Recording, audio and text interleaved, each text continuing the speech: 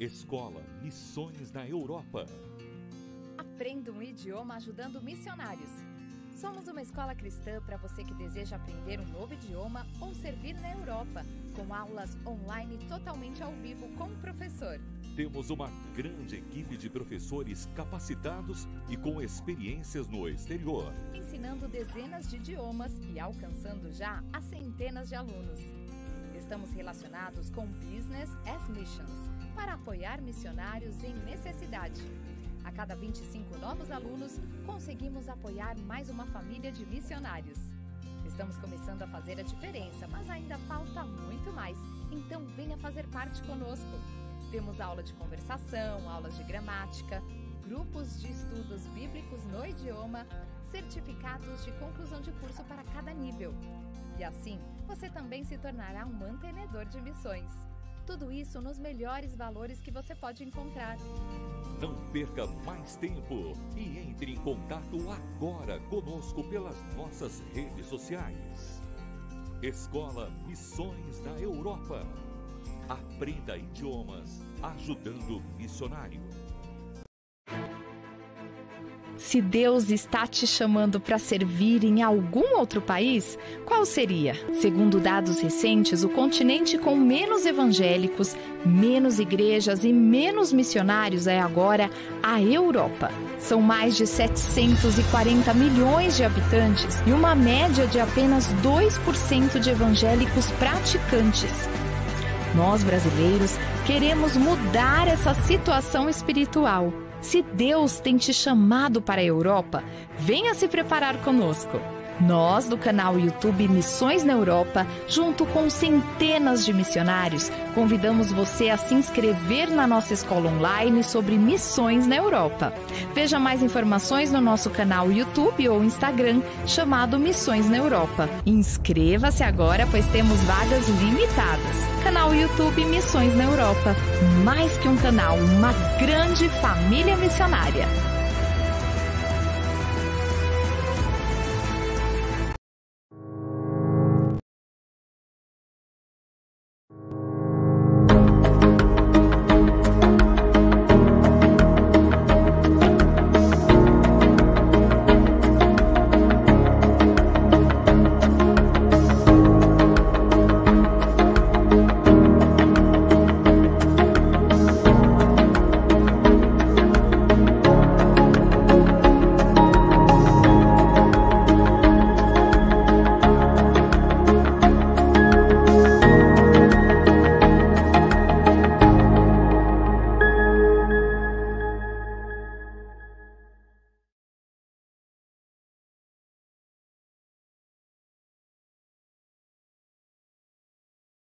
Irmãos, tudo bem? Aqui é o Glauber Desso do canal da Aliança Missões na Europa e nós estamos ao vivo para conversarmos sobre missões na Itália.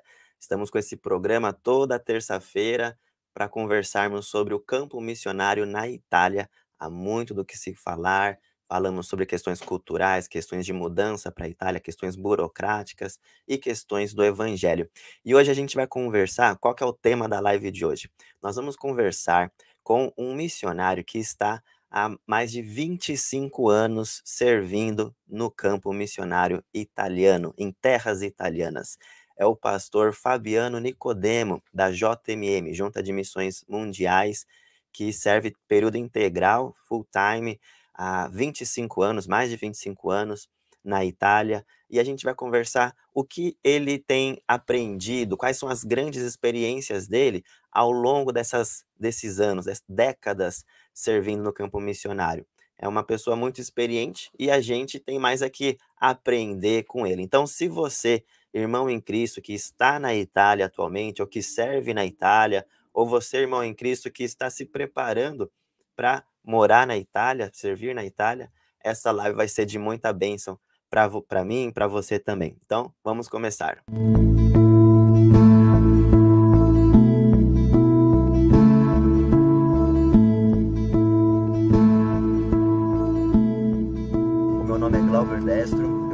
missionário evangélico aqui na Europa e eu amo discutir missões e como está o cristianismo nesse continente. Fabiano Nicodemo. Oh, mamma mia. Rimini. Eccoci qua. Eccoci qua, buon pomeriggio dall'Italia nell'amore di Cristo Jesus. Um boa tarde para vocês aqui da Itália, que agora são 2 horas e 37 minutos. Repita, 2 horas e 37 minutos. É isso mesmo, meu pai também ouvia sempre essa rádio, né? Agora é a Rádio Missões na Europa. Agora é a Rádio Missões na Europa. É isso aí, né? Fabiano, muito bom estar aqui com você, Clauber. É, eu também, tô bom, que bom estar aqui com você, tô feliz de da gente ter essa oportunidade de, de conversarmos contigo sobre suas experiências, sua jornada ao longo desses 25 anos e mais de 25 anos, daqui a pouco vamos ver aqui a gravação dessa live, vai estar passando 26, 27, então ah, temos muito que conversar, a gente tem mais que aprender contigo, eu queria começar já, para não perder tempo aqui, é, te perguntando sobre ah, chamado, não qual é o seu chamado. Sim. A gente já tem algumas lives aqui, muitas lives sobre qual é, qual é o chamado da pessoa, mas é, tem muita gente que tem um chamado, serve uhum. na, no país e depois de três anos, cinco anos, acaba voltando e embora a pessoa tenha um chamado, acaba apagando essa chama, essa hum. convicção hum. do chamado. Mas você, Fabiano, ah, per, permaneceu e tem permanecido né, Amém. décadas né, na convicção do seu chamado. Então, quais, quais as motivações para você. Permanecer hum. nesse seu chamado? O que te fez permanecer até hoje no campo missionário? Olha, Glauber, essa talvez seja a pergunta, se não a mais importante, com certeza uma das mais importantes. Uh, eu exatamente ontem, né, para falar a data certa, o dia 20 de março de 1993, eu fui consagrado ao ministério pastoral. Eu tinha apenas 21 anos e talvez por alguns anos, algum período, talvez eu fui o pastor mais jovem do Brasil. Eu estudei lá na faculdade teológica, fiz o meu curso lá e tal. Mas o chamado missionário não foi a Faculdade Teológica Batista de São Paulo quem me deu. Lá eu consegui muitas ferramentas, fui treinado, né, do ponto de vista teológico. Mas o, o verdadeiro chamado aconteceu ah, já dentro da minha casa e com um pastor em especial que eu quero registrar aqui, um missionário, aliás, ele plantador de igreja, missionário americano, para quem conheceu o Russell Shedd, ele era da missão do Shed. O nome dele é Kenneth Bruce Flurry. Ele é um pastor missionário americano, plantador de igreja. Ele que uh, passou muita paixão. E eu entendo o seguinte: que uma das coisas para continuar alimentando esta esta visão missionária, assim, não e não até estava vendo um artigo outro dia do The Gospel Coalition falando sobre essa é uma espécie de diminuição desse ardor, dessa convicção do chamado missionário. Para ficar no campo, você precisa ter essa muita convicção, e eu entendo que ó, uma das maiores coisas para nós enfrentarmos essas dificuldades é o nosso foco no Senhor você é, é algo muito assim, é, eu, eu falo com isso com muito temor, viu, uhum. Glauber? Porque eu acho assim que o chamado você está no foco em Deus, mas talvez alguém poderia falar de casa, mas eu também estou focando em Deus. Mas a questão é muito pessoal, aonde você tem aquela certeza, aquela convicção não por si, se você se achar melhor ou mais importante do que os outros. Absolutamente não é o meu caso. Muita humildade nisso, mas a graça de ter aquela certeza e de saber que chamado não é sinônimo de facilidade, mas chamado é sinônimo de perseverança. Então nós precisamos ter essa perseverança, essa paciência no Senhor, para continuar alimentando. Então, é paciência, é resiliência, é humildade, é dependência de Deus, é ter essa visão de longo alcance é, de que você vai continuar trabalhando. Eu posso, assim, dizer para vocês, queridos, né? Eu estou há 30 anos no ministério, mas 25 anos na Itália, ou seja, né, a maior parte aqui na Itália.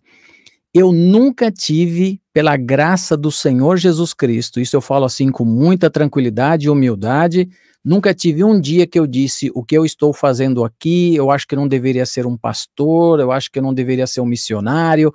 Eu nunca tive isso. Então, assim, Deus me, me deu uma, uma certeza e eu, eu assim, não tenho como agradecer ao Senhor sobre isso. E eu entendo, então, que é uma ação do Espírito Santo, mas também de perseverança, de resiliência, desta paciência, ou seja, ser intencional naquilo que você está fazendo.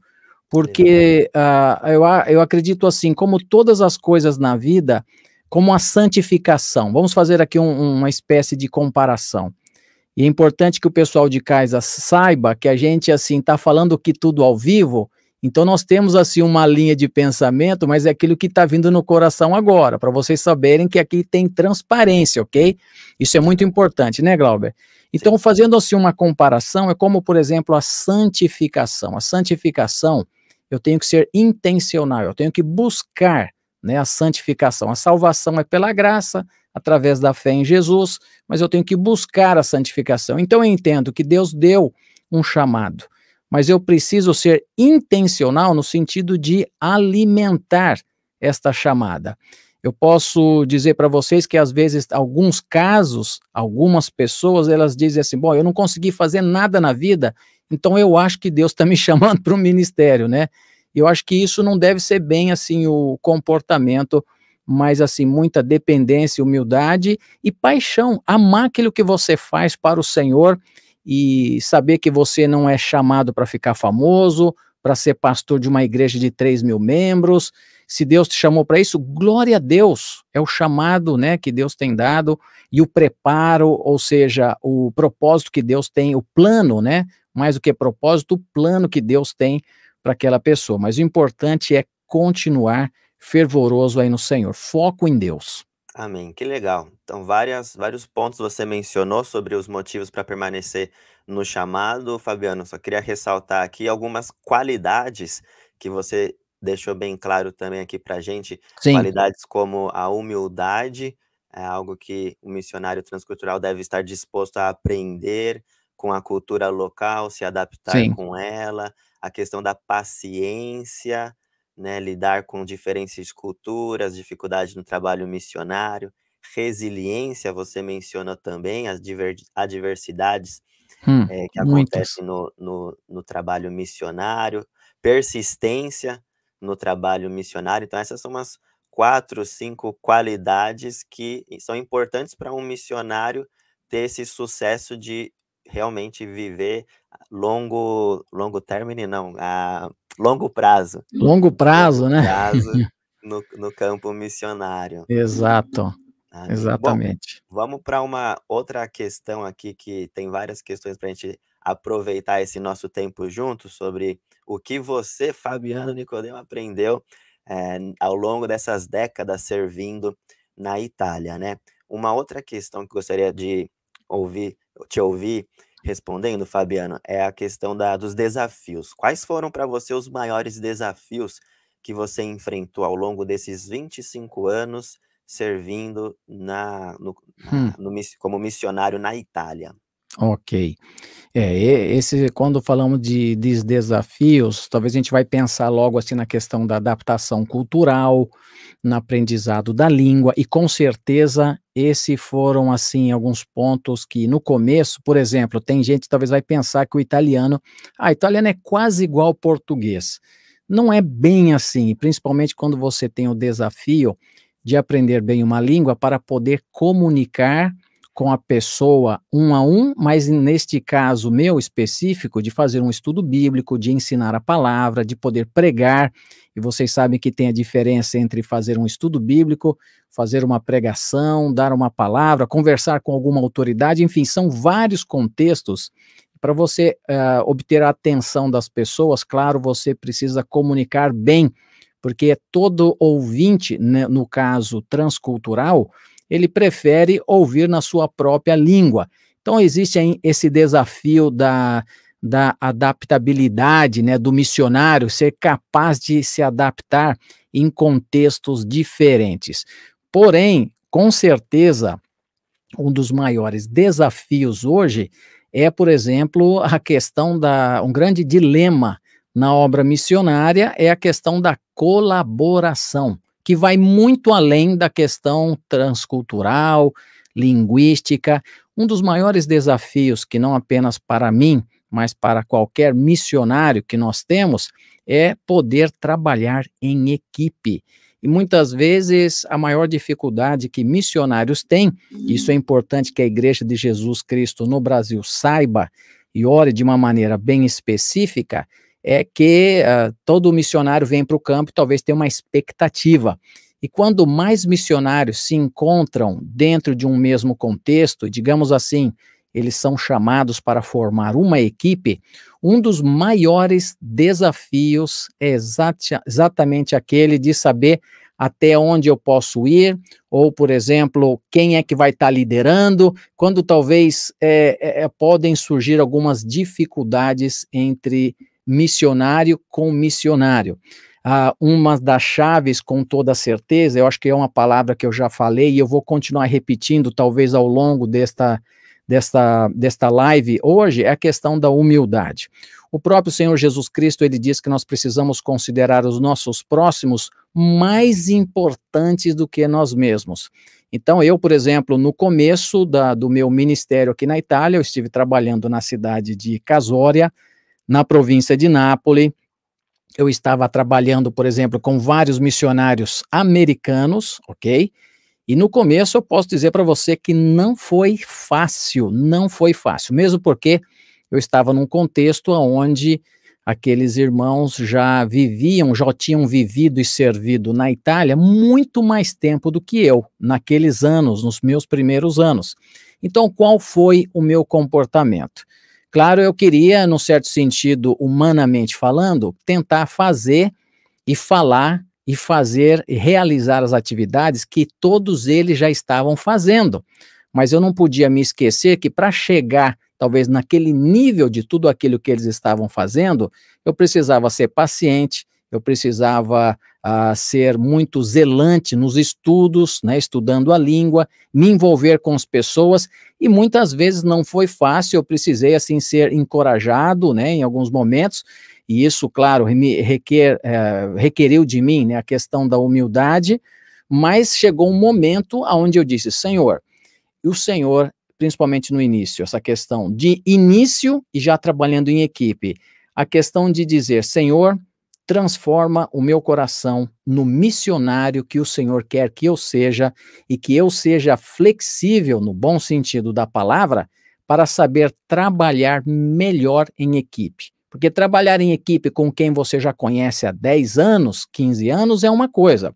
Quando você está num contexto diferente, país diferente, com pessoas que tiveram experiências diferentes das suas, que não conhecem você, ou pelo menos toda a sua vida, então é, se torna um pouco mais difícil. Então, esta é com certeza bem difícil. Outro aspecto ainda, além da questão uh, transcultural, a questão, como eu disse agora, trabalhar em equipe, é também a questão da liderança, porque o líder ele tem que, ele é chamado para ser líder, para inspirar pessoas, para mobilizar pessoas, pensando no caso, função do missionário, pastor, fundador de igreja, discipulador, você saber uh, desenvolver esse relacionamento com as pessoas, então você ter um, uma, uma ligação forte com Deus através do Espírito Santo, através da palavra de Deus, para que Deus use você como um canal de bênção para a vida de outras pessoas, fazendo de você um líder. Então essa é com certeza uma grossa, um grosso, na grossas fida, um desafio gigante, porque se você não está convicto, se você está desanimado, se você não tem essa certeza, quem é que vai seguir você? Uh, uma das coisas que Jesus Cristo nos ensina na palavra, lá em João capítulo 10, é que a gente não, eu não nasci pastor no sentido todo mundo já tem que me seguir. Eu tenho que conquistar estas pessoas. Então a questão da liderança. Eu tenho que conquistar, eu tenho que conhecer para conquistar no bom sentido da palavra, tá bom? No sentido assim de estar tá, uh, edificando as pessoas com a palavra, então eu tenho que conhecer bem essas pessoas, ser um instrumento de bênção para a vida destas pessoas, para que elas, como Jesus Cristo mesmo falou, eu conheço as minhas ovelhas, as minhas ovelhas me conhecem, elas ouvem a minha voz e me seguem. Então, esse princípio de liderança que Jesus Cristo está nos dando, isso leva bastante tempo. Então, quem sai do Brasil, quem sai de um outro lugar, no caso, pensando especificamente, sair do Brasil e vir para a Itália, achando que já chega aqui, que as pessoas estão te aguardando e tudo vai ser, oh, pastor, sabe aquela ideia, né? Que às vezes em alguns contextos tem quase, as pessoas quase beijam a mão do pastor, né? Meus irmãos, eh, a gente precisa ser humilde. Eu repetindo aqui mais uma vez essa palavra, na dependência de Deus e fazer a obra de Deus com devoção, com amor e trabalha, trabalhando de uma forma que a gente possa conquistar o coração das pessoas, dizendo, principalmente porque o italiano ele é bem desconfiado, então você vai conquistando cada dia mais uma parte do coração, como sendo um servo do Senhor Jesus Cristo. Amém, é verdade, que legal. É, ainda sobre essa questão de, dos desafios na, servindo há anos Sim. na Itália, Fabiano, eu estava pensando aqui numa coisa. É, que que você acha? No começo da quando a o o o missionário chega na Itália, ele tem uma uma certa um certo volume de dificuldades, né, Sim. né, de parcerias, paciência, ser zelante, adaptação, idioma, são alguns pontos que você mencionou do dos seus desafios no começo. Qua quais são aonde que há mais desafios? Será que é no começo do ministério, pelo Hum. fato dessa adaptação, de parceria, de mais escutar do que falar, o que é difícil para o brasileiro, que é muito imediatista, a gente quer Sim, mais sim, é é. é iniciar projetos e e células e a igreja, mas a gente precisa ainda se contextualizar, Hum. então é é complicado esse é um é desafiador pra no começo para cada missionário, ou é mais difícil a médio e longo prazo, né, questões que acaba atingindo muitos missionários, a questão financeira depois, ou a questão de Hum.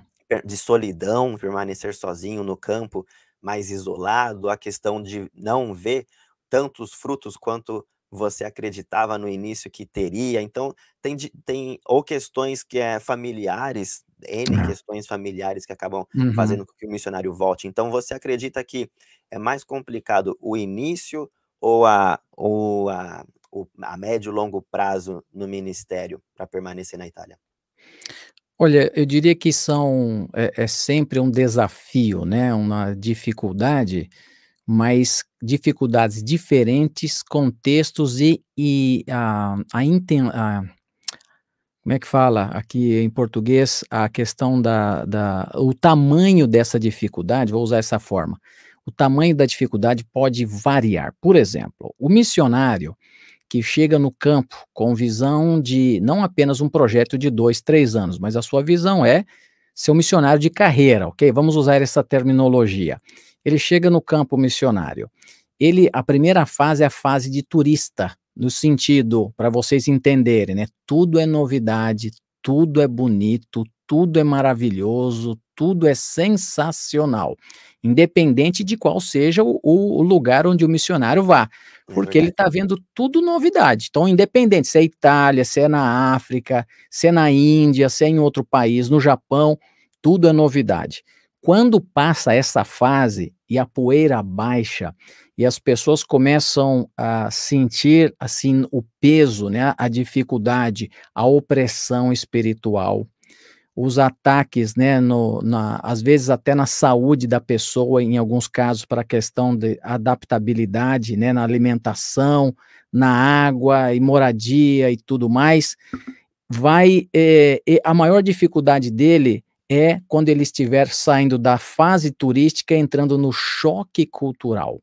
Quando ele estiver no choque cultural, é quando o missionário precisa realmente segurar sempre, mas ainda mais neste momento, nas mãos de Deus, ter foco, ter saber que já antes de acontecer isso, saber que vai acontecer.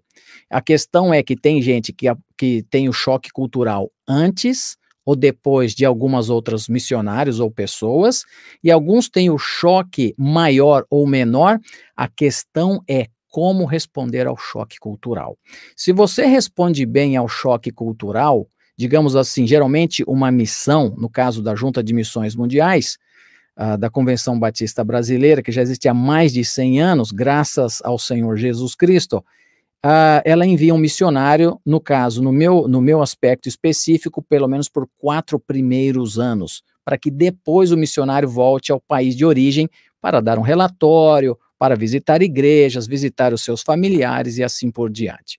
Se ele consegue, pela graça de Deus, superar esses primeiros quatro anos, a possibilidade bem, né, digamos assim, superar bem esses primeiros quatro anos, ele vai voltar já mais carregado. Ele passa para uma outra fase, onde ele já conhece bem, assim, digamos, ou pelo menos de uma maneira já profunda a língua, já conhece os lugares, conhecem a, a, as características do ministério, então ele vai ter um, um avanço bem maior no ministério.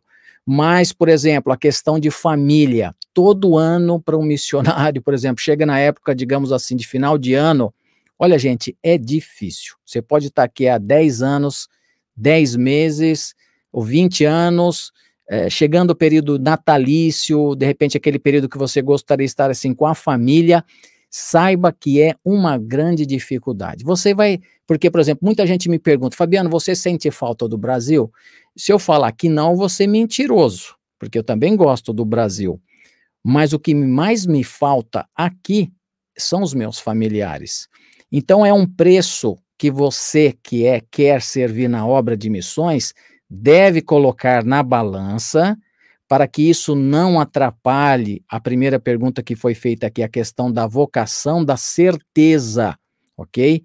E outra coisa, espere dificuldades, porque ah, as dificuldades, às vezes, com, com a questão da família, com, com o, a idade dos filhos, tem, tem uma série de coisas que podem variar, né, Cláudia, as dificuldades, mas o importante é saber de que você está fazendo a coisa certa, para a pessoa certa e, claro, procurar aprender a fazer da maneira correta para que tudo possa dar glórias ao Senhor.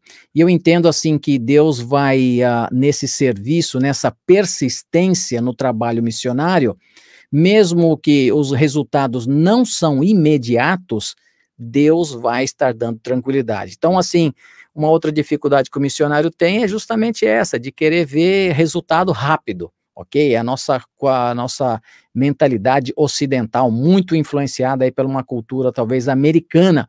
Então, é algo que a gente precisa estar dentro, fazendo, trabalhando no reino, deixando Deus agir, e, e Deus age, com certeza ele age, mas tendo a sabedoria de que a dificuldade, o trabalho, você está numa batalha, você está num campo missionário. E as batalhas, sim, vão ter momentos mais tranquilos, momentos mais intensos, mas você está sempre focado no Senhor. E isso pode variar, eu vou falar da minha experiência, mas cada missionário vai enfrentar questões diferentes de acordo até mesmo com o contexto aonde ele está trabalhando. É verdade. É verdade. Bem, bem, bem citado aí no final, né? Dependendo da região da Itália, ou se é uma igreja com muitos nativos, muito brasileiros, crentes fervorosos ou não, tudo isso influencia a, a permanência ou não do, do, do missionário naquela, naquele campo missionário, né?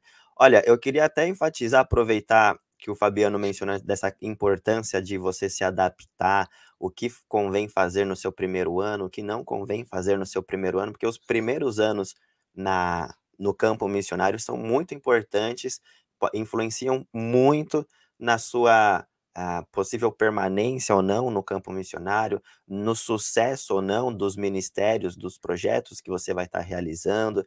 Então, pra, por, por, essa importância da, da gente, que a gente reconhece que tem nesse primeiro ano, nós criamos um, graças a Deus, levou meses, levou anos, cerca de dois anos para a gente conseguir organizar tudo isso, mas graças a Deus nós já temos um curso específico sobre isso, que chama-se Seu Primeiro Ano na Itália.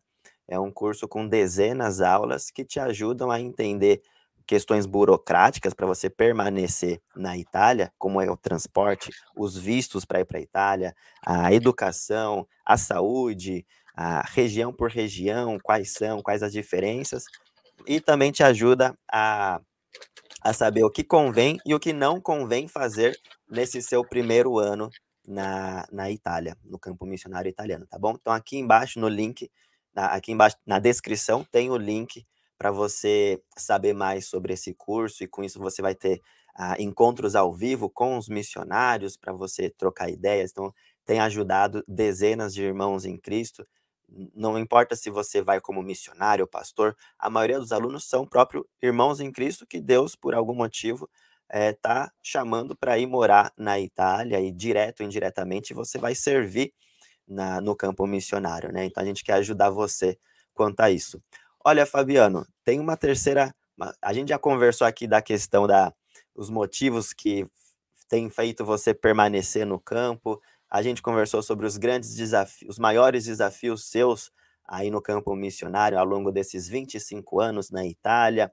E com isso a gente viu, a gente tem visto algumas, uh, algumas qualidades do missionário em cada uma dessas questões, e nessa última questão do desafio, vimos qualidades como adaptabilidade, você mencionou, serviço, liderança, colaboração, humildade, mais uma vez. Então, são qualidades aí, características importantes para ajudar o missionário a vencer esses desafios. E uma outra questão, uh, Fabiano, mudando agora o tema, é sobre essa evolução da religião na Itália ao longo dessas últimas décadas, desses 20, 30 anos. A gente sabe que a Itália uh, é ou tem sido predominantemente católica, mas cada vez mais a secularização, os jovens têm sido mais secularizados, mais pós-cristãos, né, contra o, catolicismo, o cristianismo, principalmente catolicismo, é, ou muitos dos jovens têm agora ficado é, sido ateus, não acreditam mais em Deus. E o que, como você tem percebido é, desde quando você chegou na Itália, 25 anos atrás, até hoje, essa evolução do cenário religioso na Itália? Tirar o é. microfone está no mute. Já tirei. Ok. É, é interessante notar, por exemplo, que a Europa e a Itália também está passando por uma, digamos assim, uma transformação e até mesmo uma espécie de decadência espiritual que começou já há muito tempo e, e, isso continua acontecendo. A Itália já teve um número de católicos, por exemplo, muito maior do que já tem hoje apesar de ser muito grande, digamos aí que pelo menos 74% dos italianos se consideram católicos, ok? Uh, o que, por exemplo, anos atrás, com certeza chegava a mais de 90%. Uh, ah, mas aqueles que realmente, uh, digamos, frequentam uma missa ou algo assim, falamos de em torno de uns 24%. Uh, imagine que, por exemplo, na, na Itália, nós temos como número né, de religiosos, é, as tradições religiosas mais presentes, em primeiro lugar, a Igreja Católica Romana, em segundo lugar, os muçulmanos, em terceiro lugar, os testemunhas de Jeová, que são mais do que os evangélicos que estão presentes no território italiano. Mas qual tem sido essa transformação? Vamos pensar um pouco mais específico, Glauber, no que diz respeito aos evangélicos. Ao longo desses anos, graças ao Senhor Jesus, a obra tem crescido.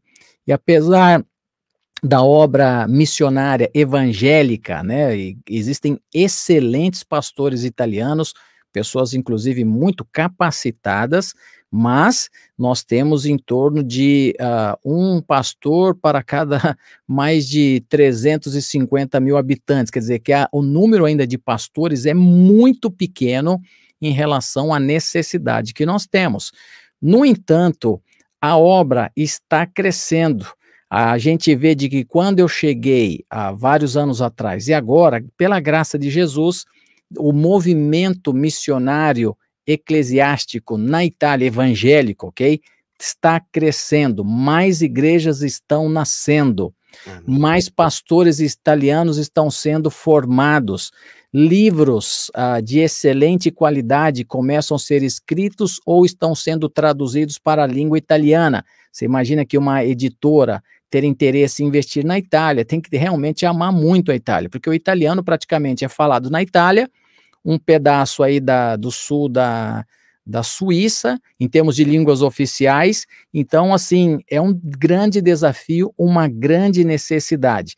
Outra coisa que tem contribuído, aliás, para o crescimento das igrejas evangélicas é, inclusive, por falar em brasileiro, né? Ou seja, vamos falar aqui brasileiro como um exemplo, mas os estrangeiros que estão vindo para a Itália, que já têm um background uh, evangélico, tem dado sangue novo, força nova, um impulso maior para as igrejas evangélicas é na Itália. E isso tem sido assim de grande alegria, eu posso dizer, porque Deus usa aquilo que digamos assim, o que ninguém espera, né?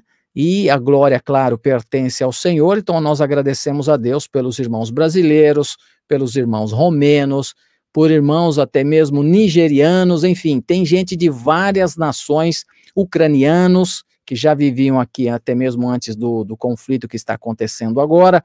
Enfim, são muitas pessoas.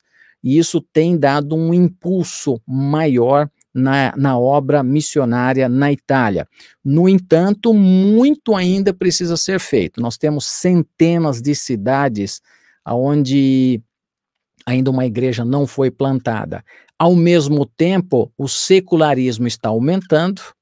Ao mesmo tempo, uh, nós vemos que o budismo na Itália está crescendo, o islamismo cresce na Europa, cresce na Itália também, mas principalmente por uma questão, digamos assim, uh, principalmente pelo crescimento demográfico das famílias que são de origem árabe ou muçulmanas que vivem no território nacional. É interessante, talvez eu já disse isso em alguma outra live, que você vai ver um jovem de família muçulmana casando-se, em alguns casos, com uma moça italiana o que não vai acontecer ao contrário, ou seja, uma jovem de origem muçulmana casando-se com um muçulmano. Pelo menos não é tão comum assim, porque justamente quando um rapaz casa-se com uma italiana, na maioria dos casos, digamos mais de 90% de chance é de que aquela jovem se torne também uma muçulmana, até mesmo por uma espécie de imposição já dentro dessa cultura, desse credo religioso. Então, é, é um. E tem os ateus também, né? Então, assim, é, é bem variado, né? E a gente tem que acabar sendo bem flexível no saber conversar com pessoas em contextos diferentes. Puxa vida, Fabiano. Ao longo desses 25, 30 anos, a Itália, é, esse cenário religioso na Itália tem mudado drasticamente. Você mencionou aí diversos pontos, diversas questões Sim. do da catolicismo que está diminuindo, do secularismo que está aumentando, do ateísmo aumentando, islamismo, a, a imigração que tem mudado a, a, cultura, o jeito de viver, principalmente nas grandes capitais italianas. Você mencionou a, o, os crentes uh, estrangeiros que vêm morar na Itália e vêm para renovar igrejas, muitas igrejas locais. Então, são vários pontos aí que têm influenciado esse cenário ao longo da esse cenário religioso na Itália ao longo das décadas. Que interessante. Sim. Mas vamos então continuar avante aqui com as nossa, a nossas, nossa conversa, aproveitando que temos aqui Fabiano Nicodemo conosco, há 25 anos, servindo no campo missionário italiano. Fabiano, é, uma questão sobre a cultura entre Brasil e Itália. Quais Sim. são algumas das principais diferenças culturais entre o Brasil e a Itália, é, que, que mais te fez assim, eu, é, que te fez permanecer até hoje no campo, entendeu? O que que você fez assim, puxa, essa questão cultural eu parei de fazer, brasileira eu parei ah, e okay. vesti a camisa italiana aqui. Ou essa questão cultural brasileira eu continuo até hoje porque isso faz a diferença para mostrar, Entendi. quebrar um gelo quais que as diferenças culturais entre Brasil e Itália que te fez permanecer até hoje no campo italiano? Olha, assim, fazendo uma espécie de brincadeira, mas falando sério ao mesmo tempo, uma coisa que eu gosto muito da Itália é a alimentação italiana, né? Eh, eu sou de origem italiana e isso, assim, nesse caso, para mim, me ajudou com toda certeza, mas algo que você precisa vestir a camisa, ou mais do que vestir a camisa, pegar o garfo italiano, exatamente na alimentação. A maneira como no Brasil nós comemos, ou a ordem pela qual, digamos, um prato é servido, ou você tem aquela ideia, né, o nosso famoso arroz com feijão, que para nós aqui na nossa casa é o almoço de domingo, que é um almoço especial, mas no nosso dia a dia, eh, a gente precisou se adaptar bastante em termos de alimentação e a gente vestiu realmente aí a cultura dentro da nossa casa, mesmo porque era muito mais fácil encontrar alimento, claro, italiano, mais fácil preparar e com maior, né, no caso, variedade, com custo inferior, do que, por exemplo, estar tá aqui dentro de casa e pensar, olha, eu vou me alimentar como eu comia no Brasil. Então, isso foi algo assim que a gente teve que se adaptar ah, com, com toda certeza. Uma outra coisa que eu posso mencionar aqui é a questão ministerial ah, de não trazer, por exemplo, uma bagagem de uma celebração dominical estilizada, digamos assim, ou dentro de uma visão brasileira, que seja no louvor, que seja na maneira, digamos assim, da ordem da celebração ou do culto, ou como você na sua igreja local chame. Claro, tudo um, um, culto de adoração ao Senhor sempre é feito de acordo com o que a palavra nos diz, ou seja, com ordem, com discernimento e tal, com alegria, com espontaneidade. Porém, digamos assim, o formato, né, usando essa palavra, o formato brasileiro é algo que a gente acaba não usando aqui. Até mesmo a maneira como nós realizamos a ceia do Senhor, nós realizamos uma vez por mês. Tem igreja na Itália que faz uma vez por ano, tem igreja na Itália que faz a cada domingo. A nossa opção aqui na igreja local é uma vez por mês, todo primeiro domingo do mês, como, aliás, nesse aspecto, muitas igrejas no Brasil assim também fazem. Porém, qual é a diferença? A gente não serve, é uma diferença, né? Vou dar uma curiosidade aqui. Uh, a gente não serve a ceia, os elementos eu primeiro, no dia que nós temos a ceia, ela é feita geralmente antes da pregação, antes da mensagem, onde eu vou estar explicando para as pessoas alguns pontos. Vou ter um texto, não necessariamente o clássico, Prima aos Coríntios, capítulo 11, do versículo 23 em diante, mas eu posso estar lendo algum texto dos evangelhos, posso, Mateus 26, 26, eu posso estar lendo uh, livro, a carta aos Hebreus, temos aí capítulo 7, capítulo 8, capítulo 9, enfim, capítulo 10, usando um, um, texto da palavra de Deus, Efésios capítulo 2, e aí vai. Eu explico o texto, o texto em maneira breve, não é uma pregação. Eu, eu ou um dos discípulos nossos, né, irmãos da igreja que estão dirigindo o culto, eu vou falar do ABCD, você, para participar da ceia de, de Jesus Cristo, tem você tem alguns requisitos. Há como aceitar Jesus. Se você aceitou Jesus, então isso já é algo fundamental. B como batismo. Você foi batizado no nome do Pai, do Filho e do Espírito Santo. C como caminhar. Você está caminhando com Jesus, a questão da coerência, né? Se eu aceitei Jesus, fui batizado, preciso caminhar com Deus e D, discernimento. Eu preciso discernir, como Paulo diz, né, que eu tenho que auto, me autoexaminar.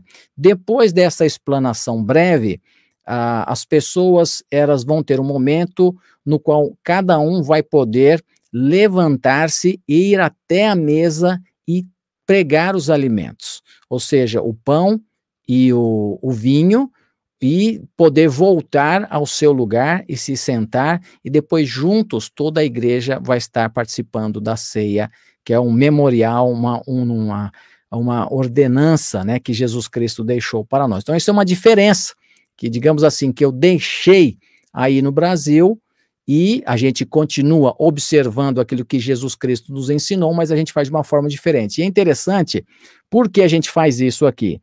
Uh, porque no contexto romano é o padre que dá a hóstia, né? O vinho ele bebe, mas a hóstia ele dá para o povo, né? E, e as pessoas, no caso, é ele que te dá. E eu falo, não, eu não te dou nada. É você que vem, você tem livre acesso se você aceitou Jesus, foi batizado, caminha com Jesus, você tem discernimento, então você vai se levantar e você tem a responsabilidade diante de Deus de vir e participar dessa ceia. Então eu não estou lidando, é você que tem livre acesso ao Senhor. Então a gente quer passar muito que o livre acesso a Deus é por meio de Jesus e não necessariamente através da igreja, porque foi Jesus Cristo que deu a sua vida pela igreja de Jesus. Amém. É verdade, que legal. E ainda mais com tratando-se do campo missionário italiano, que muito italiano, até mesmo italianos que eh, são católicos, eram católicos nominais, mesmo assim, eles, pelos fatos de viverem com os pais, os avós que eram católicos mais fervorosos, eles têm dentro deles algumas raízes ainda de origem católica que, fa que faz com que eles não entendem muito bem a questão da graça, por exemplo, ou que eles precisam fazer isso para conseguir o perdão. Então, explicar, muito interessante tudo que você mencionou, Fabiano, que ajuda a explicar melhor para o italiano essas, a, essas questões né, da, da ceia, do batismo, da importância Exatamente. da salvação e tudo mais. Que interessante.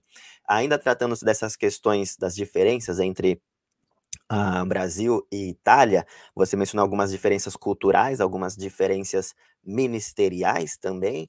É, da questão cultural, você falou da comida, e, uma, e um ponto que você de, uh, falou que achei bem interessante é a questão de que você, na, dentro da sua casa, mesmo não tendo nativos italianos uh, visitando você, vocês vivem, a almoçam, jantam no estilo italiano, Italiano. predominantemente. Há muitos brasileiros não fariam isso. Muita gente, talvez até missionários, de, talvez diriam: não, mas dentro da minha casa a coisa funciona do jeito brasileiro. Eu vejo alguns dizerem, é, acho que alguns diriam assim, Sim. né?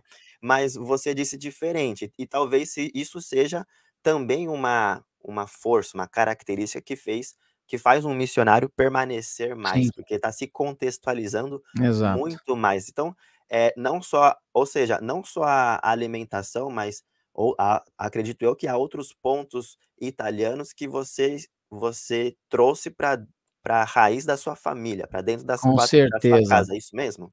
É isso sim, viu, Glauber? É isso sim. Eu tenho que te falar a verdade. Eu acho que Deus, assim, nos ajudou muito, né, a e a minha esposa Anne, nesse aspecto, que hoje eu, sem brincadeira, preciso me concentrar muito, muito mesmo, para tentar uh, lembrar dentro da minha mente o que é mais brasileiro e o que é mais italiano. Porque, no caso, vivendo já aqui há bastante tempo, eu vim para cá que eu tinha aí por volta de uns 27 anos, né? Tinha cheguei aqui, tinha 27 anos, agora eu tenho 50 e 51. Não vai aumentar a idade não. 51.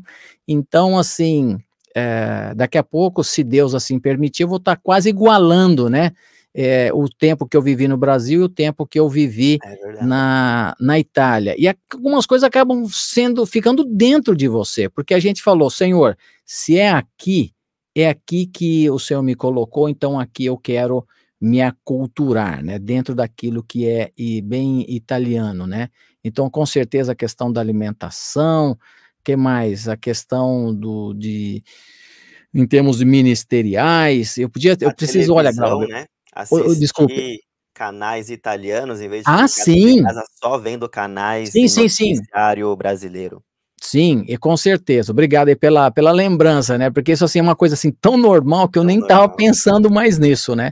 Então, assim, a gente uh, vivendo sabendo que a gente não, não criamos a nossa casa uma bolha brasileira.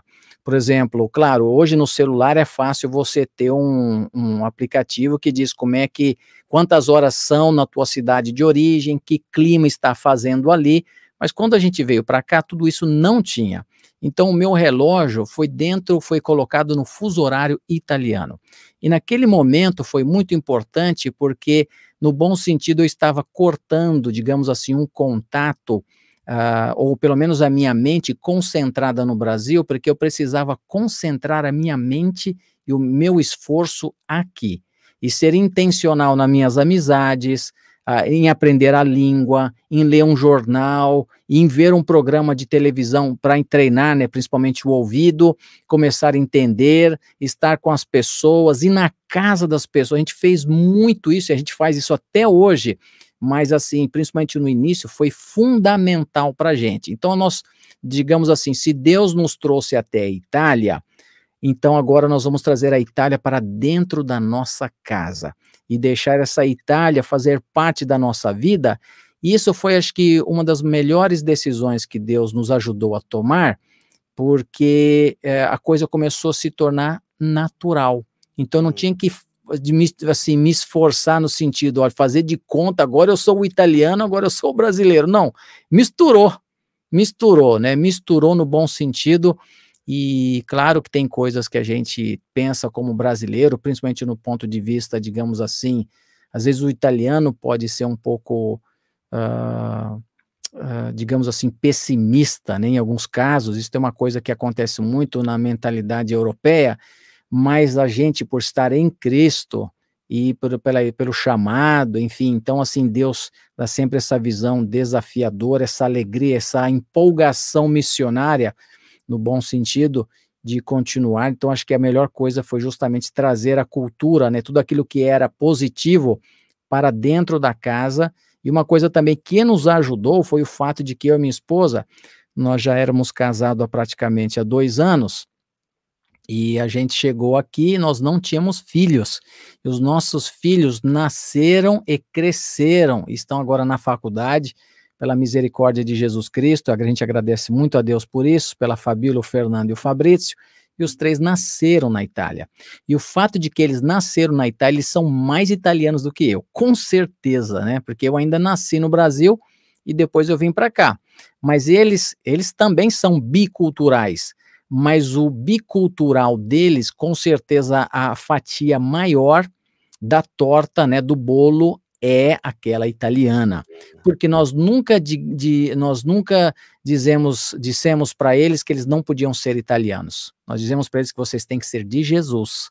Então o fato que eles foram crescendo aqui, eles aprenderam, falam português, falam outras línguas, falam naturalmente o italiano, mas o italiano é a primeira língua deles. Então isso também nos ajudou bastante em termos de aculturação e de deixar os nossos filhos assim como parte da nossa vida e a Itália como parte da vida deles também. Existem alguns exemplos, talvez por questões de facilidade, até mesmo de estrutura. Muitos missionários às vezes preferem que o filho, quando chega na idade para estudar numa universidade, que ele volte né, para o país de origem. No nosso caso específico, estou dizendo que isso é melhor ou pior, Deus permitiu que eles ficassem aqui mesmo na Itália. Então, assim, a gente acaba conhecendo ainda mais, né, agora o lado estudantil, universitário, né, o contexto melhor, justamente porque os nossos filhos nos ajudaram e sempre nos ajudaram a fazer essa ponte com a cultura italiana. Isso nos ajuda bastante, com toda certeza. Amém, é verdade. Eu queria até dar uma, uma dica também, terminando esse tema de, das diferenças culturais, para você brasileiro que está chegando na Itália, que você venha nesse seu, nesses seus primeiros meses, além de imergir no idioma, venha dentro da sua casa imergir também no mundo italiano. Aproveita esse tempo para se contextualizar ao máximo esquece um pouco, desliga um pouco aquela, a, aquela, aquele canal na, na, no seu cérebro de Brasil, notícias brasileiras, política, uh, novela, uh, canais no YouTube brasileiros e liga aquele canal italiano e começa a ver as músicas, os louvores, a televisão, Isso os aí. filmes italianos, porque o, prime... o início, seu primeiro ano no país é muito importante. Então, foca nisso. A gente não está falando para você esquecer de vez é, a sua raiz de origem, esquecer de vez o Brasil, não. Mas há, há tempo para tudo, né? E o início no campo missionário é o tempo para você se focar na, no, nesse país, se contextualizar, e para isso você tem que se desligar um pouco mais da, da sua origem. Tem gente que faz tudo isso, mas continua lá todos os dias falando com o pai, com a mãe, com os parentes que estão, com os amigos que estão no Brasil, isso atrapalha o seu hum. esse seu tempo para você se contextualizar de modo mais efetivo. Então, é, essas são dicas que a gente dá nesse nosso curso, seu primeiro ano na Itália. Bom, vamos mais para frente, uma próxima questão. A gente queria dar, queria dar uma oportunidade aqui para você, uh, Fabiano, de você dar um, um testemunho, né? Alguma experiência, alguma história inspiradora, seja que você viveu, você, nessa, na, você e sua família viveram nesse período, ou ao longo dessas décadas, uma história que você viu e que é fascinante, que, que você pudesse compartilhar com a gente. Ah, ou seja, ou uma história inspiradora, um testemunho marcante que você vivenciou durante seu tempo como missionário na Itália. Hum. Uau, fascinante. Quem sou eu, Glauber? Fascinação é o Senhor, né? Mas eu acho que uma, uh, do ponto de vista mais pessoal, o cuidado de Deus e a nossa gratidão a Deus por tudo aquilo que Ele tem feito nas nossas vidas, porque uh, chegar, uh, acho que o, o, o trabalho transcultural, num certo sentido, quando ele é feito realmente com o objetivo de evangelizar, de fazer discípulos, uh, acho que tudo já é fascinante, né? No sentido assim, é maravilhoso. Se você gosta daquilo que você está fazendo, porque está fazendo para o Senhor, é algo sensacional. E uma coisa que eu sempre agradeci a Deus foi o fato de que ele já desde o início nosso aqui na Itália, ele nos deu assim a oportunidade de entrar na casa das pessoas. A gente estava na Itália há, tipo assim, há duas semanas, eu já estava nas casas evangelizando, eu nem falava italiano direito, estava em Nápoles, aprendendo assim o dialeto mais do que o italiano, porque vocês sabem que em Nápoles o dialeto é muito forte, muito presente, e a gente já na casa das pessoas e pessoas ouvindo falar sobre Jesus com muitas limitações.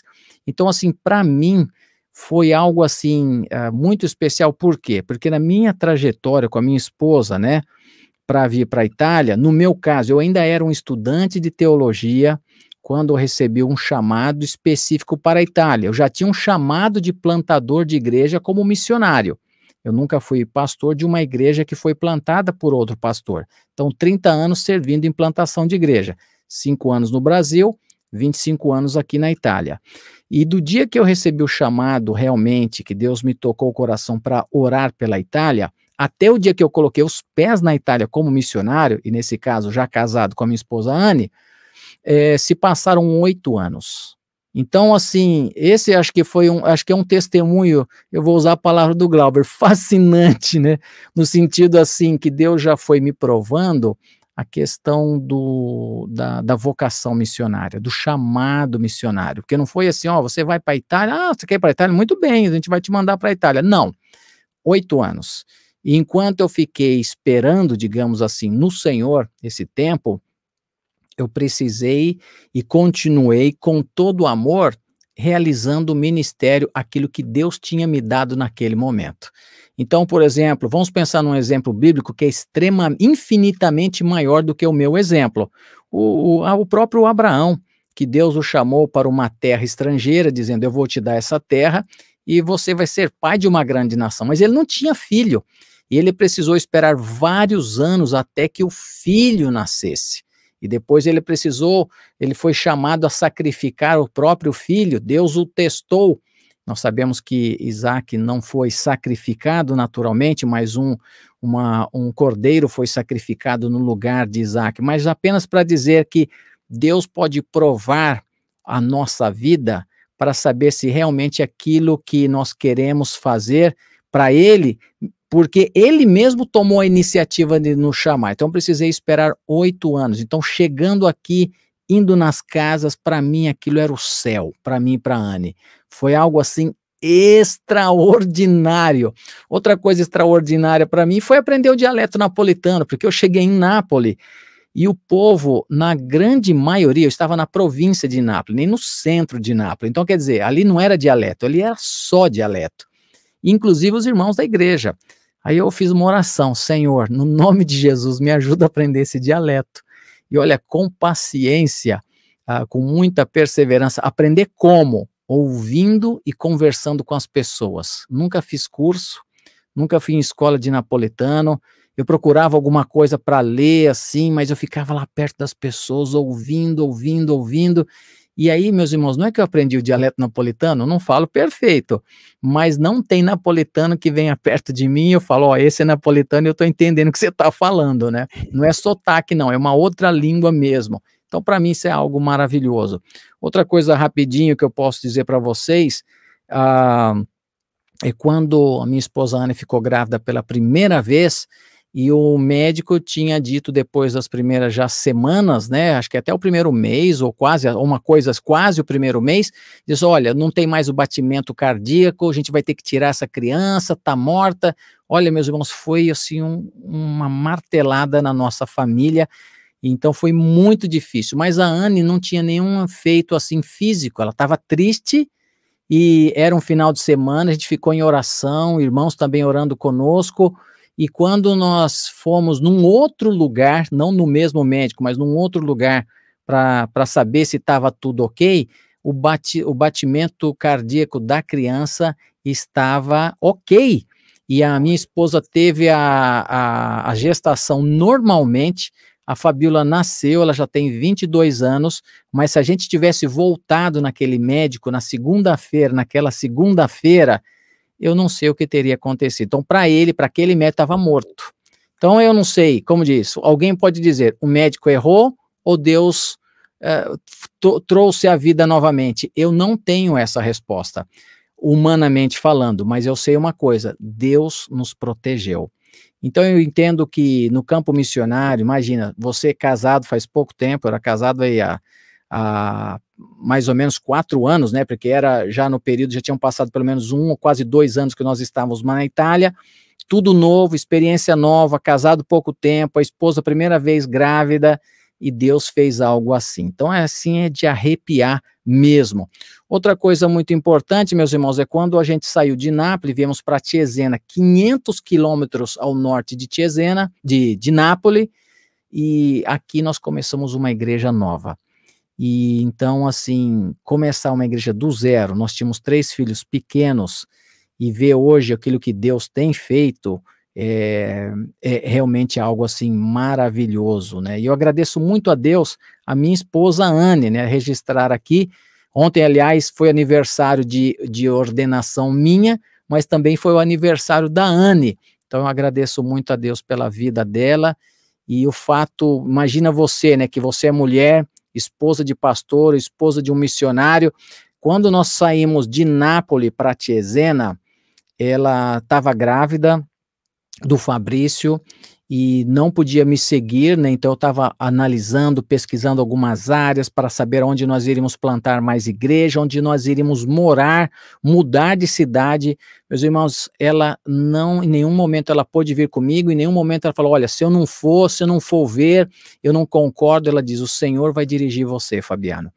E quando ela veio para Tiesena, ela já veio de mala e cuia e com as crianças, ou seja, de mudança ela nunca tinha visto aqui a região, mas Deus tocou no coração dela e abençoou a sua vida, abençoou a minha vida, abençoou a nossa vida. E eu agradeço ao Senhor por aquilo que ele fez ah, nesses anos todos, cuidando da nossa família, como qualquer família, momentos mais difíceis, menos difíceis, mas com a graça de Jesus Cristo no nosso coração e com o chamado missionário sempre muito forte para todos nós. Amém. Glória a Deus por tudo isso. A gente vê a importância de investirmos na nossa família, o que nós fazemos ou não fazemos dentro da, das quatro paredes da nossa casa. Isso influencia muito a nossa permanência no campo missionário, isso influencia direto e indiretamente o nosso ministério, se estejamos nós no Brasil ou na, no estrangeiro, né, ou na Itália, algum outro país. Glória a Deus por isso que Amém. Deus tem, dá, tem provido a sua família, né, Fabiano, com Graças a Deus. Você, conversa, você falou ah, nessas algumas questões sobre plantação de igreja na Itália, e a gente está conversando aqui sobre o que você, Fabiano, tem aprendido ah, após décadas servindo como missionário na, na Europa, principalmente na Itália. Então, é, uma pergunta sobre esses projetos missionários. Quais, certamente, quando você chegou, você estava com uma visão, hoje você está com outra visão, o, o mundo se tornou outro, então outros projetos acabam ah, sendo adicionados. Então, a minha pergunta é: quais projetos ou iniciativas que você tem participado ou liderado para promover a missão na Itália? Ok. Uh, com certeza algo que é atemporal, né? Seja que vai além do tempo, é a questão do discipulado. O discipulado é fundamental na vida de qualquer missionário. Aquele discipulado mais evangelístico, você fazer amizade com a pessoa e através dessa amizade, uma amizade intencional, onde você vai estar uh, falando de Jesus para a pessoa, o discipulado na formação de crentes para santificação, para maturidade espiritual, mas é, você vê que isso vai aumentando, né? E o maior exemplo, acho que em termos de discipulado, para mim, que Deus assim foi amadurecendo na minha vida, foi a questão da formação de liderança e principalmente de pastores italianos. Porque ao longo da, da caminhada, como eu disse já no início, é bem difícil às vezes trabalhar em equipe, ok? É bem difícil. É impossível? Não, não é não. Quando nós buscamos, né, deixamos Deus agindo, vai ser um pouco mais menos difícil, digamos assim, que nós estamos todos olhando na mesma direção que é Jesus Cristo.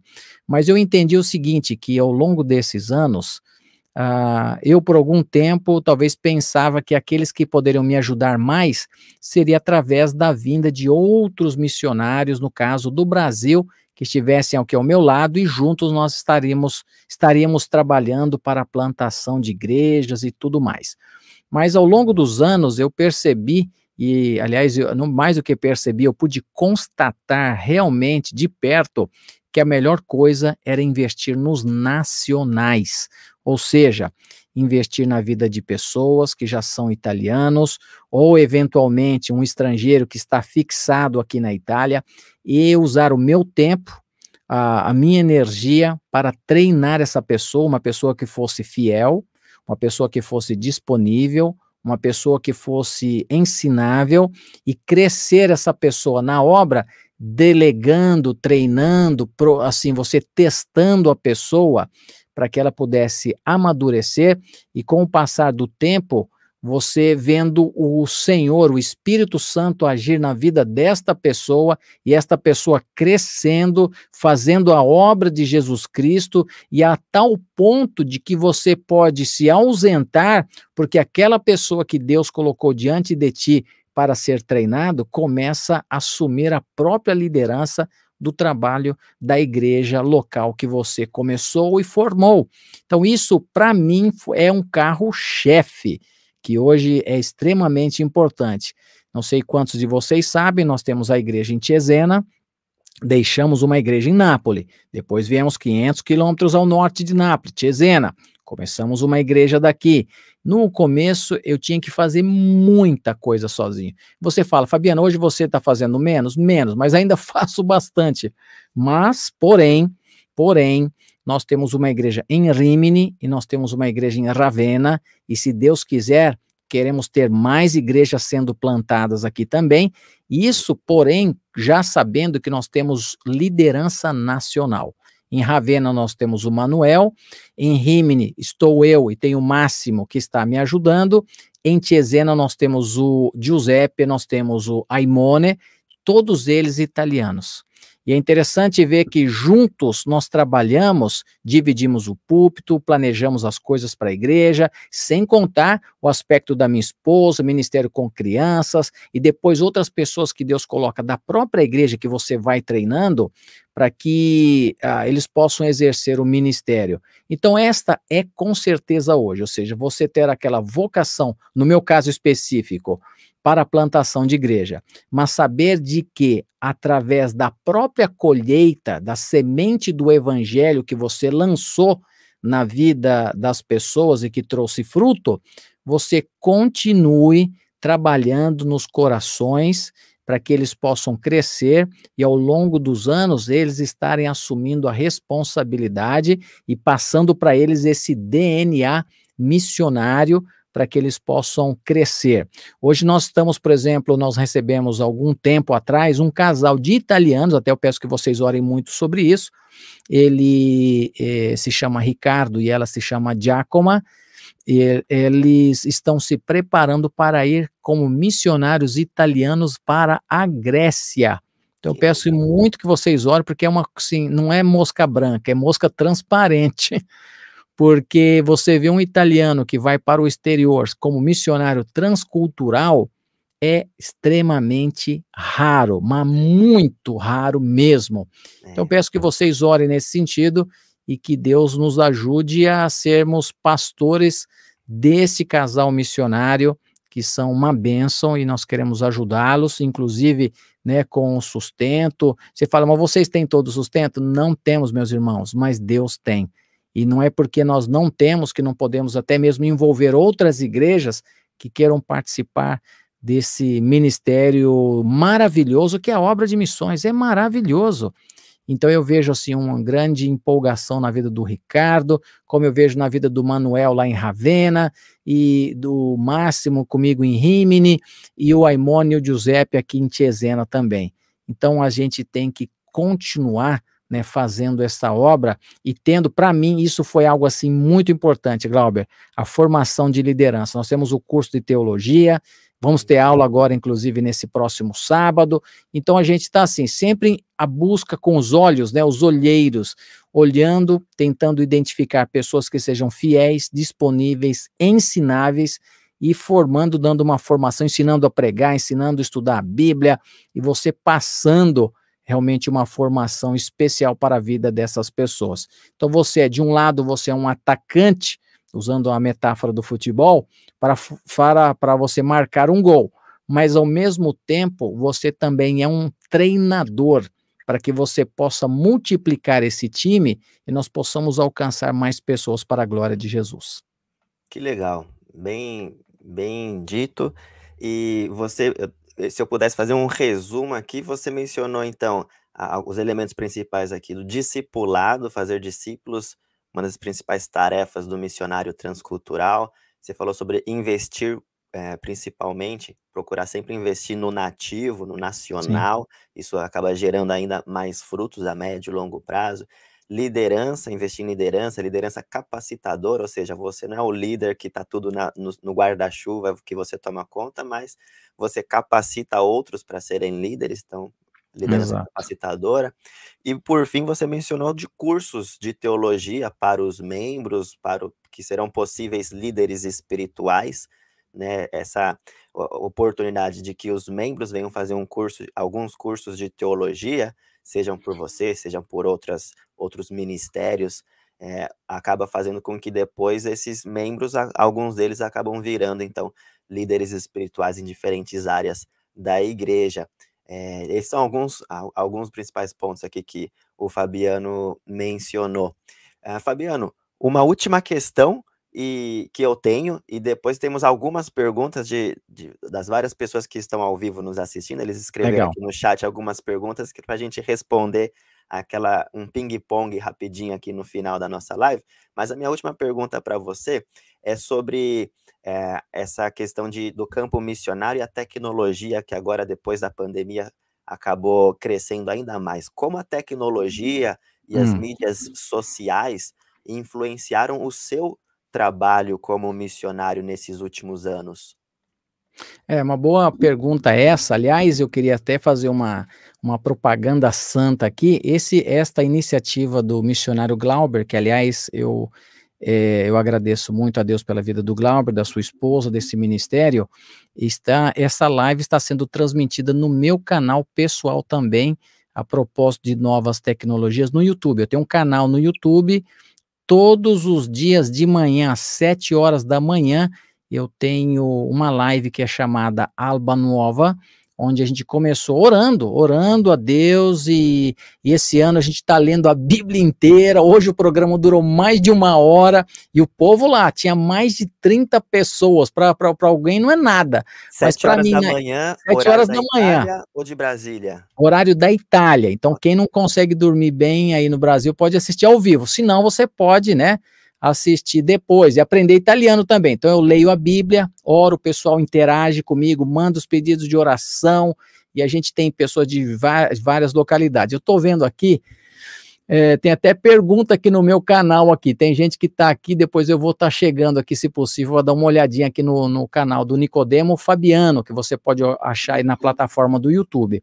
Mas, Glauber, olha, eh, com a questão da pandemia, a gente, por alguns momentos, nós não podíamos ter o culto presencial.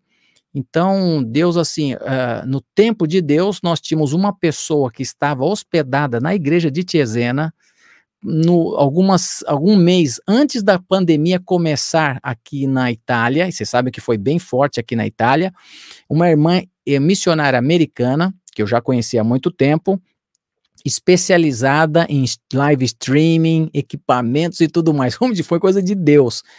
E ela nos ajudou muito. O nome dela é Deborah Brown, que eu agradeço a Deus pela vida dela. E ela, estando aqui, nos treinou e me empolgou. Eu gostei muito disso. Tinha um canal do YouTube, colocava alguns vídeos missionários às vezes, mas aquela coisa assim, bem, né, pequena. O canal da igreja de Tiesena e de Rimini já existiam para colocar algumas mensagens, mas aí a necessidade aumentou. Então nós fomos para o Zoom, usamos Zoom, usamos Facebook, usamos o YouTube, fazendo muitas lives. E a diferença é o seguinte: quando tinha pandemia, tinha muitos pastores e missionários fazendo as lives. Depois pararam. E eu senti um chamado de Deus, eu falei, olha, Senhor, eu não quero fazer disso o meu ministério, não sinto que é o meu ministério é, principal. Porém, usar ah, de manhã, eu acordo às 6 horas da manhã, tomo um café, faço café para minha esposa, e aí depois eu venho aqui e pelo menos das 7 da manhã até as 8 horas da manhã, eu dedico esse tempo para interagir com as pessoas ao vivo, ao vivo, e elas podem me mandar o pedido de oração, eu oro, eu mobilizo nessas pessoas, tem sido uma benção, uma benção poder semear. Então eu vejo assim, a gente usou o Zoom, por exemplo, para fazer estudos, para fazer treinamento, no YouTube é um pouco diferente. Então eu continuei, e eu espero assim, dentro do possível, né, com a ajuda de Deus, continuar, porque eu entendo assim, lá em 1 Coríntios capítulo 9, Paulo, ele fala do seu desejo e obrigação de evangelizar, ao mesmo tempo a sua adaptação, a culturação de se fazer fraco com os fracos, forte com os fortes, grego com os gregos, judeus com os judeus. Então, se hoje muita gente está chegando na internet, por que não lançar sementes da esperança de Jesus Cristo dentro desse mundo da internet? E é o que Deus tem dado, e eu agradeço a Deus por isso, porque tem dado fruto, e por ser apenas, digamos assim, praticamente quase todo o conteúdo que eu tenho é italiano. Tem vídeos em português também, tem uma, uma playlist que eu fiz sobre missões na Itália, por exemplo, que é tudo em português. Mas é uma maneira de semear a palavra, então, bola para frente. Que legal, amém. É, eu queria também até acrescentar quanto a isso, de que existem no Brasil existem já muitos canais cristãos fazendo um bom trabalho para divulgar de modo sério a, a, a teologia, questões da fé cristã, da vida cristã, já em italiano, ou no nosso contexto europeu, na, na França, na Espanha, na Itália, nós precisamos ainda muito mais de mais missionários, mais irmãos em Cristo que venham investir ah, mais nessas, nessas redes sociais, em canais do YouTube, falando no idioma do, do nativo, né? Se você vai servir na Itália, assim como o Fabiano, ele faz tudo em italiano Exato. todos os dias às 7 horas da manhã.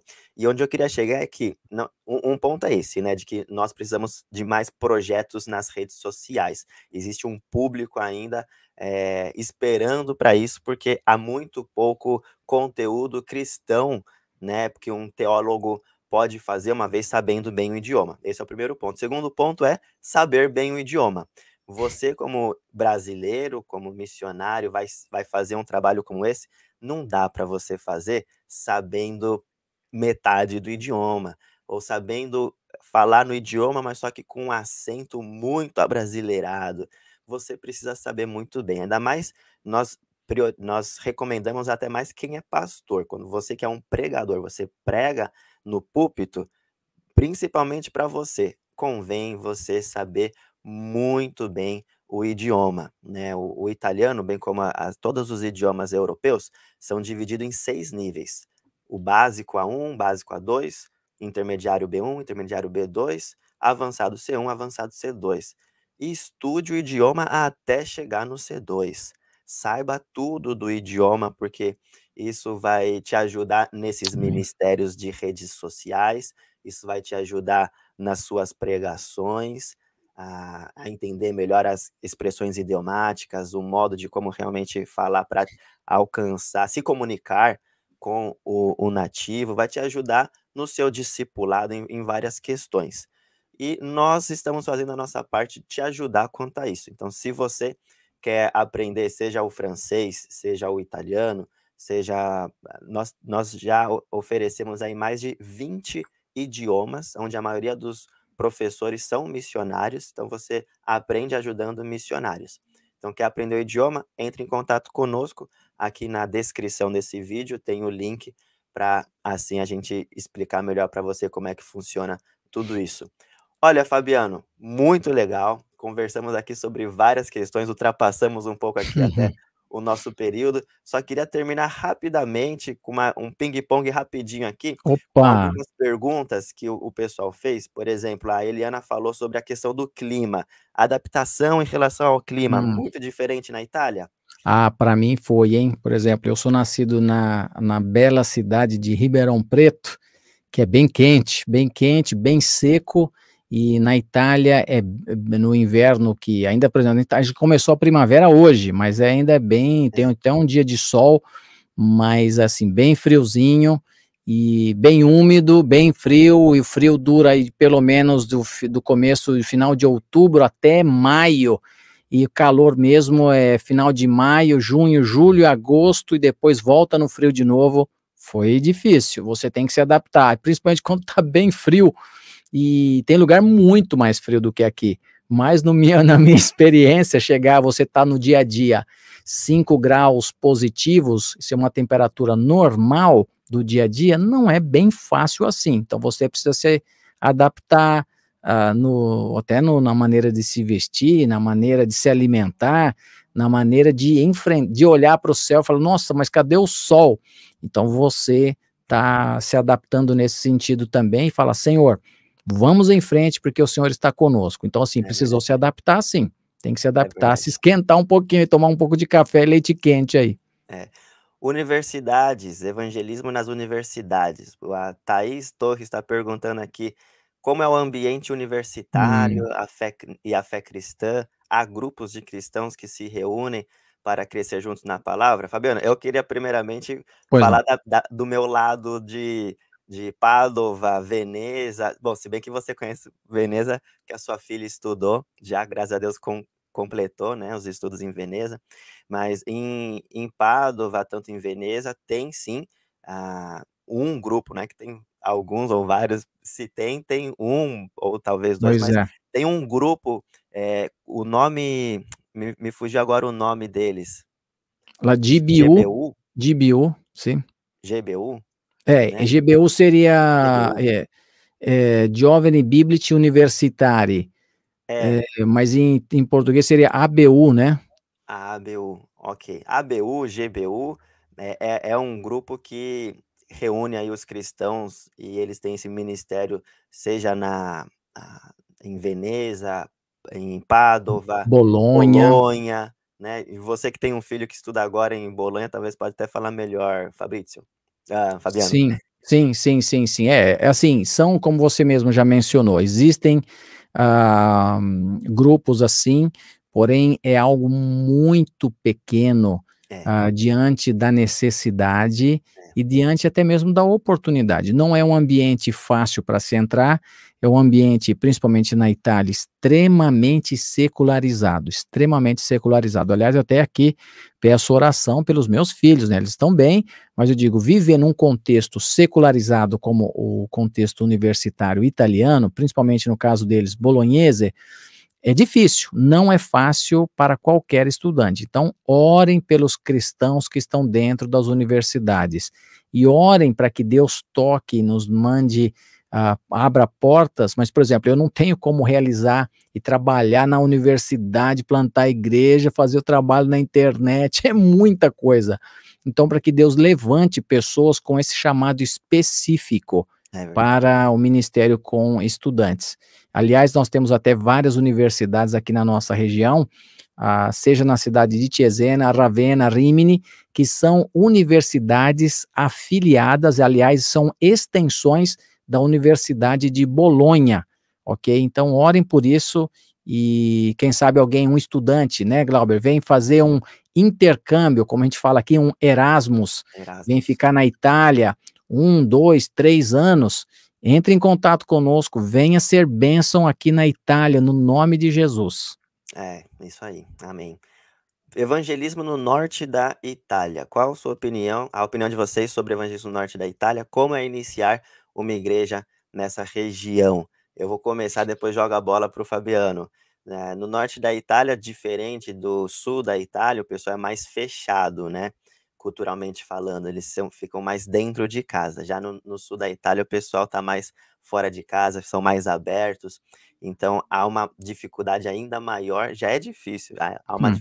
dificuldade ainda maior de você fazer relacionamentos, começar a igreja, ser ah, recebido na casa de um italiano do, do norte. Então, essas são algumas dificuldades que a gente encontra de fazer evangelismo no norte da Itália mas as igrejas ah, que seguem a palavra de Deus, que não uhum. são liberais da teologia liberal, têm, que presentes no norte da Itália, têm crescido. São as igrejas que estão fazendo a diferença. Então, com Cristo, você tendo chamado a convicção, fazendo que de, o serviço de acordo com seus dons e talentos, ah, isso vai gerar frutos com certeza. Fabiano. Com certeza, Glauber. Eu acho que aí a questão da criatividade, da perseverança e também a questão assim da resiliência, né? É, quem sabe, como você mesmo já falou uma outra vez, fazer um estudo bíblico lá nos McDonald's ou inventar ah, alguma outro tipo de festa, de iniciativa, né, pensando para jovens, sem diluir o evangelho, mas falando do evangelho de uma maneira integral, mas ao mesmo tempo você alcançando as pessoas. Por exemplo, no nosso caso, no mês de verão, nós sempre fazemos os summer camps, que são, nós estamos próximo aqui ao litoral, então nós na praia podemos evangelizar jovens e adolescentes através do inglês, juntamente com irmãos americanos, e ali poder semear a palavra de Deus. Então, assim, é, é difícil, qualquer lugar da Itália é difícil. Quer um lugar no sul que tem pouquíssima igreja? Calábria. E é no sul da Itália ok? Lugar lindo, bonito, mas é um povo muito religioso, um povo desconfiado, uhum. como de uma maneira geral, né, o italiano. Nós precisamos orar para que Deus levante obreiros, né, rogai ao Senhor da Seara para que mande mais obreiros para a Seara. Então eu oro a Deus mais missionários, obreiros para a Calábria, para a própria região onde eu estou, Emília-Romanha, que nós temos poucas igrejas, Marque, que está aqui do meu lado, a região dele é Marque. Então, tudo isso são desafios. Então, assim, a Itália não é que tem um lugar mais fácil ou mais difícil, às vezes tem mais igrejas e, e a gente digamos assim, talvez com uma cooperação pode ser um pouco mais rápido, e, e, no sul da Itália o pessoal é um pouco mais aberto para fazer amizade, sim, é verdade, mas vão ter outras dificuldades. Então, assim, independente de onde for mais, mais fácil ou mais difícil para fazer amizade. Se, tenha amigos, faça amizade, e através dessa amizade, não se afaste de Deus, ok? Não se afaste de Deus. Aumente a sua fé e seja intencional nas suas amizades para compartilhar o evangelho de Jesus, que seja um colega de trabalho, que seja um vizinho de casa, que seja o colega da, da universidade, como foi falado antes. Amém.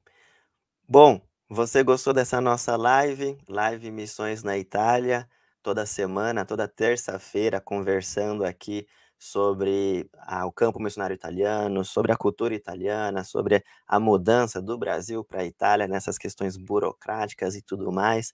Semana que vem eu vou estar aqui nessa live Missões na Itália com o Joedson, que vai falar sobre algumas questões de mudança, da, de como você vai, é, que vai ajudar você para se mudar para a Itália e, e servir melhor no seu primeiro ano na Itália. Eu aprendi bastante coisa aqui nessa live Fabiano Nicodemo, décadas servindo no campo missionário italiano, muita experiência, muito conhecimento, e nessa uma hora e meia de live a gente conseguiu pegar aí alguns elementos principais, algumas qualidades que todo missionário, seja para a Itália, seja para outro país, tem que ter para conseguir servir uh, permanentemente né, no campo missionário, servir a longo prazo no campo missionário. Fabiano Nicodemo, suas considerações finais? Olha, minha consideração final é o seguinte: eu vou usar aqui um ditado italiano. Chi va piano, va sano e va lontano, que significa, se você, lembre-se é que, a, como é que é? é tem, temos a, as expressões aqui para compartilhar, é, né? Tem bastante. Coloca o primeiro aí, então, Glauber, okay, por favor. Lá. Que va piano, Vassano e Vassano e Valontano, né? Eu gosto muito aí dos ditados italianos. E praticamente significa o quê? Que se você vai devagar, você viaja bem e vai mais longe. Do ponto de vista uh, missionário, missiológico, é o fato de que eu tenho que lembrar que eu tenho que me adaptar a uma nova cultura. Isso é um processo que requer paciência vai levar tempo. Então, tenha paciência na obra de missões. Tenha essa perseverança né, no, no Senhor. Ao mesmo tempo que você precisa que vá piano, vassano e valontano, que você vai depender de Deus, tendo essa paciência, essa perseverança e seguindo adiante, ok? Como a gente também fala no Brasil, né? Quem tem muita é, freta, não é que fala? Pressa. Quem tem muita pressa ou come cru ou queima a boca, né? Então, assim, tem que tomar cuidado. Vai com paciência, vai com perseverança. Vamos falar um outro ditado rapidinho italiano aí. L'acqua quieta rovina e ponte. Talvez esse não é um ditado tão conhecido para muita gente, mas é praticamente está falando assim no ditado: a água parada pode derrubar pontes. Então, você que está no campo missionário, tome muito cuidado. Às vezes tem situações que estão ao seu redor que a, a nós hum, talvez não fazemos, não damos tanta atenção, mas são questões perigosas que podem estar minando a nossa estrutura e você cair. Então, a questão da santidade, da oração, do caminho com Deus, da intimidade com Deus, para vencer tentações, é extremamente importante. Então é preciso estar ativo, né? Pro, uh, estar sempre uh, dependendo aí no Senhor, porque nós precisamos estar uh, na dependência de Deus, porque do contrário, essa situação pode estar tá chegando e, e pode derrubar você. A gente já viu assim muito missionário que, por exemplo, até mesmo em termos familiares ou dificuldades, acabou tendo que deixar o campo missionário, por quê? Porque não viu que, por exemplo, a esposa estava passando por um momento difícil. Talvez não tinha entendido, então aquilo dificultou e ela acabou tendo que deixar o campo missionário e voltar para o país de origem, ok? Então, assim, são questões desse tipo que, que l'acqua quieta rovina e ponte. Quindi, esteja atento, verificando todas as coisas, porque Deus tem sim um, um propósito, né? E a gente é importante estar atento a tudo aquilo que parece que é uma coisa inofensiva, mas que na verdade são sinais de que a gente tem que prestar bastante atenção. Vamos lá, tem mais um ditado aí, vamos fazer tem, mais um. Aqui, o terceiro e último. A cavalo donato não se guarda em boca. Uma coisa que a gente lembra aqui desse ditado, que tem um ditado bem parecido no Brasil, cavalo doado, você não vai olhar na boca do cavalo. O cavalo geralmente você olha os dentes para saber se está, se tem boa saúde. Mas quando você recebe um cavalo que é doado, você não vai nem mesmo abrir a boca desse cavalo. Existem situações na nossa vida que nós precisamos assim ser importante, sermos gratos por aquilo que nós recebemos. Às vezes o missionário ele está no campo e quando ele chega num lugar, a casa que ele pensava não é como ele pensava, o carro que ele pensava, talvez não tem nem o carro que ele pensava, mas é a bicicleta. Eu não sei o que pode acontecer, mas eu preciso ser grato. Isso facilita demais a adaptação do missionário.